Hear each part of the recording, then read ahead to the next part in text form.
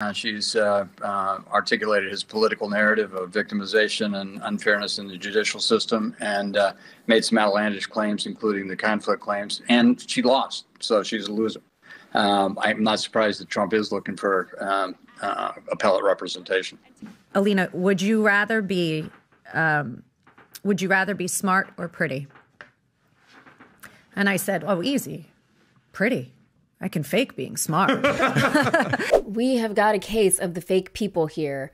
Trump's lawyer in the E. Jean Carroll case, Alina Habba, said that E. Jean Carroll's lawyer, Roberta Kaplan, had an improper mentor like relationship with the judge, suggesting a conflict of interest in the defamation trial. Now, Kaplan is threatening Habba with sanctions, claiming Habba made up a person to justify her accusations. Alina Habba, who's been widely criticized for her poor performance as a courtroom attorney, has had to quickly backpedal after a major claim she made to appeal the more than $83 million jury award appears to be false.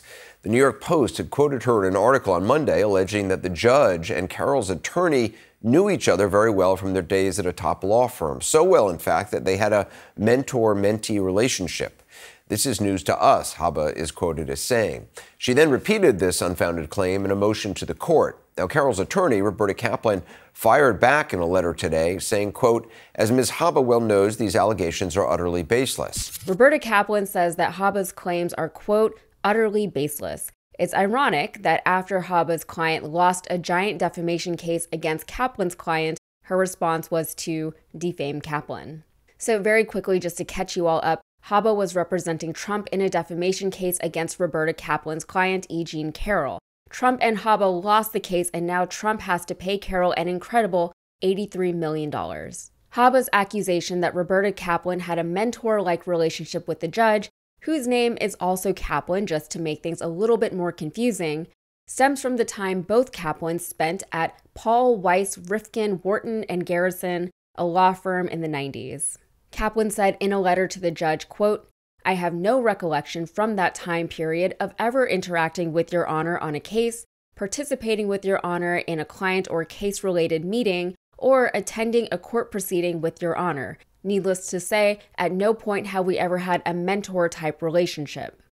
In the letter, Kaplan acknowledged that the two of them did work at the firm at the same time for less than two years, but she did not recall any direct interaction between the two of them during that time. Habba called the brief overlap, quote, insane and so incestuous. In her attempt to now appeal the guilty verdict against her client and the $83 million penalty, Habba was hoping that this overlap would be the ticket.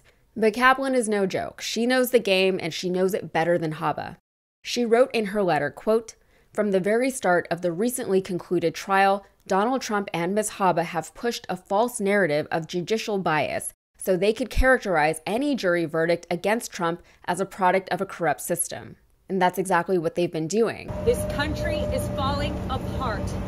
And if we don't stop corruption in courtrooms where attorneys are gagged, where attorneys are not allowed to say what they need to say to protect their clients' interests, it doesn't matter what your politics are.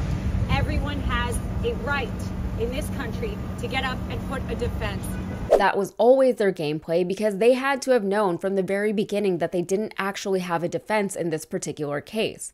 This case was about defamation against E. Jean Carroll, and that defamation has been publicly documented. It's there for every and anyone to see.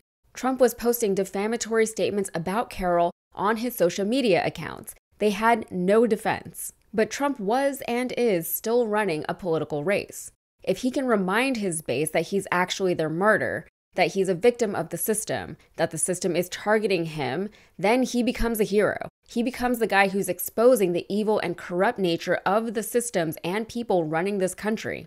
Ironically, he is sort of doing that, but not in the way that he's convinced his base he is. As I mentioned, anyone can see that he was doing the things that he was accused of doing. I feel like even if I was a Trump supporter, this particular one would be very hard to deny but he's already branded himself as their savior. His supporters have literally likened him to Jesus. This isn't about innocent or guilty, and it never was. Okay, so the fake person. There is an anonymous source who allegedly told Habba's team that, quote, Lou was like Kaplan's mentor. Lou, of course, is the judge Lewis Kaplan. Roberta said that this anonymous source, quote, clearly has a very flawed memory of events that occurred three decades ago. Kaplan suggested that sanctions be issued against Habba for her allegations. Funny enough, just the threat of sanctions was enough for Habba to back down, saying, Well, if Kaplan says it's not true, then I guess it's settled. Trump will need to find a different angle if he wants to appeal this verdict. However, Habba might not be a part of that appeal process going forward. On Tuesday on Truth Social, Trump wrote, quote, I am in the process, along with my team, of interviewing various law firms to represent me in an appeal in one of the most ridiculous and unfair witch hunts our country has ever seen.